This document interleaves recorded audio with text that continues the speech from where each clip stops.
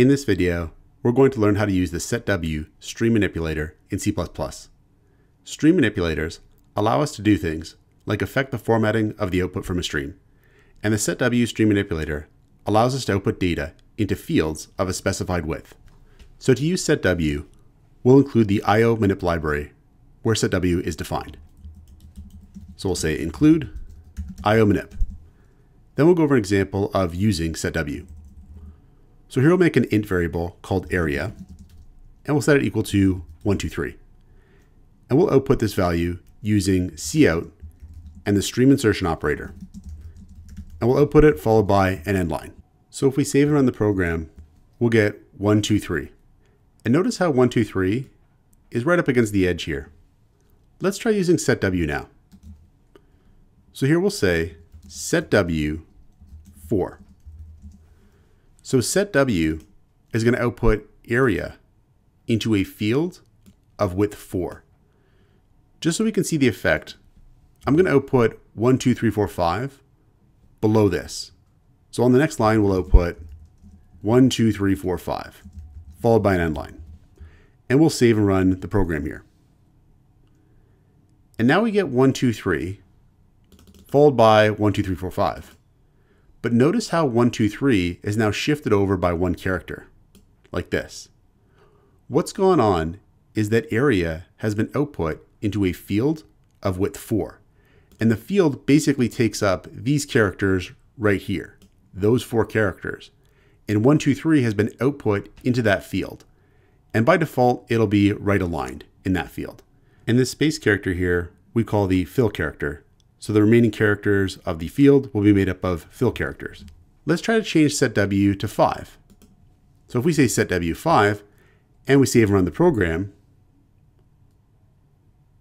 we're now going to get 1, 2, 3 output into a field of width 5 characters. And now you can see we have two fill characters being used because we have two remaining characters in the field of width 5 after outputting the three characters that it takes to output the value of area, which is 1, 2, 3. We could actually modify the fill character. So here we could say set fill to star, followed by set w. And if we save and run this, we'll have modified the fill character to be a star instead of a space. We can also change the alignment of the field and make it either left aligned or right aligned by using the stream manipulators left or right. So here we'll say left and then cout and we'll continue on down here. We can split things up across multiple statements like this and that's okay. That won't have any effect on the functionality. If we save and run this, we should now get that the 1, 2, 3 value is left aligned.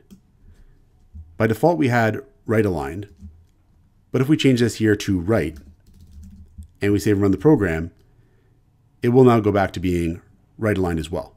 So one thing we could do with setW is use it to help us build a table of output where each column has the same width. So let's output a table of rectangle areas. We'll delete this here, and then we'll output a title here, just saying rectangle area table. And what we'll do is have a loop nested inside another loop. And the outer loop is going to modify the length of the rectangle. The inner loop is going to modify the width of the rectangle. And we'll put a table of rectangle areas for given lengths and widths. So the first thing we'll do is output the headings of the table. Now I want the first two columns to be left aligned and the third column to be right aligned. So here I'll say cout left. So that way setW is going to have a left alignment. Then we'll say C out, and I'll say set W 10 length. So my column for length values is going to have a 10 column width. And I'm going to maintain that width by using set W whenever I output anything into this column, including the heading. Then we'll say cout w 10 and width. And we're doing the same thing here. We're making a left aligned column, this time called width, that's going to be width 10 characters. Now the area column, I'm going to make right aligned. So I'll say cout right to switch set W to be right aligned. Then we'll say cout set W 4 and then area. So the area column is going to be only four characters in width. And then finally, I'll say cout end line. Beneath this line of headings, I'm going to output a row of stars. And because we have 24 characters between all of our columns, I'll output 24 stars. And I'll use the loop to do that rather than counting out 24 stars. So I'll say for int i is equal to 0, i is less than 24, i plus plus, and we'll say cout star. After all that's done, we'll output an end line here. Now we're ready to start outputting the data for our table. But before we do that, let's just save and run this program first to see how we're doing so far. So we get rectangle area table, and then we can see our headings here, length, width, and area. And you can already see that length and width have been output into fields of width 10 characters and that they're both left aligned. Next, let's output the data into our table. So to do this, we're going to use a loop embedded inside another loop. And the outer loop is going to go over a range of lengths. The inner loop is going to go over a range of widths. And we'll put the area for those lengths and those widths. So we'll say here for int length is equal to 5, length is less than or equal to 25, length plus equals 5. So we're going to take length from 5 to 25, skipping by 5 values each time. Then we'll do the same thing with width. We'll say for int width is equal to 2, width is less than or equal to 10, width plus equals 2. So the range of values is different, but it's the same idea. We're taking width from 2 up until 10, skipping by two values each time. Now we can output a table that computes the area for these combinations of lengths and widths. So we'll say cout left, because again, we want our first two columns to be left aligned. Then we'll say cout set w 10, and we'll output the length. So we're outputting the length into a field of width 10 characters to maintain the 10 character column width of this length column that we first started creating up here.